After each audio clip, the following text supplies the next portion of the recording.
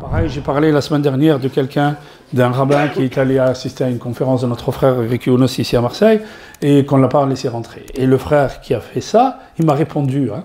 il m'a dit J'ai suivi l'avis de l'imam Malik. Mais l'avis de l'imam Malik, l'avis de l'imam Malik, c'est pas ce qu'il dit. L'imam Malik, il dit L'insan غير مسلم لا يدخل إلى المسجد إلا لمصلحة. Il dit la personne qui n'est pas musulmane ne peut rentrer à la mosquée que pour le maslaha. C'est quoi le maslaha On a quelque chose à réparer. On fait deux devis, un musulman et un non-musulman. Le non-musulman, est meilleur sur le prix et est meilleur sur la technicité. On prend le non-musulman. Alors je crois l'imam Malik. Je crois maslaha. Donc l'imam Malik, il n'interdit pas qu'un non-musulman rentre à la mosquée.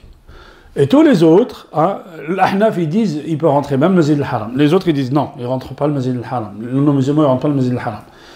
Mais un non-musulman, est-ce qu'il peut rentrer à la mosquée? On a plein d'exemples sunnah.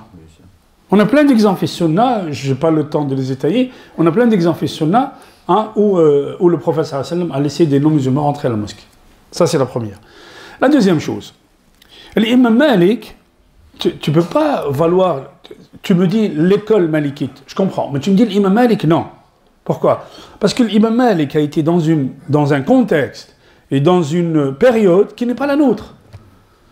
Nous, nous sommes dans un contexte français. On a le fatwa, elle n'est pas la même. Quand tu fais une fatwa ici en France, ou tu l'as fait dans un pays du Maghreb, ou en Arabie Saoudite, ou en Russie, c'est pas du tout la même chose. Shafi'i, on l'appelle Shafi'i al-Qadim ou Shafi'i al-Jadid. Shafi'i al-Qadim, al-Qadim c'est l'ancien, quand il était en Irak. Al-Jadid c'est le nouveau, quand il était en Égypte. Pourquoi? Quand il était en Irak, il a donné certains fatwas.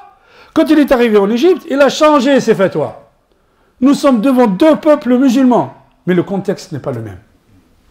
Il a changé ses fatwas. Alors je vais vous donner, et ça je m'arrête là parce que le waqt. L'imam Malik, une femme, la, durée de gestation d'un bébé. Quelle est la durée maximale de gestation d'un bébé Comment تسعة أشهر ou أسابيع. Ah. شحال يقول l'imam Malik الفقهاء avant on n'avait pas la science qu'on avait aujourd'hui. L'imam Malik, il dit deux ans. Tu prends l'avis de l'imam Malik Non. Et sur quoi il se basait l'imam Malik pour dire que la durée de gestation peut aller jusqu'à deux ans? Sur quoi il se basait? Il se basait sur quoi Nisa, ce que lui disaient les femmes. Et l'imam Ibn Hazm, Zahiri, Ibn Hazm qui était en Andalousie et qui lui était littéraliste, qu'est-ce qu'il disait? Il disait le maximum c'est dix mois. Et c'est lui qui avait raison. Et aujourd'hui, la science, elle nous dit le maximum c'est neuf mois et deux ou trois semaines.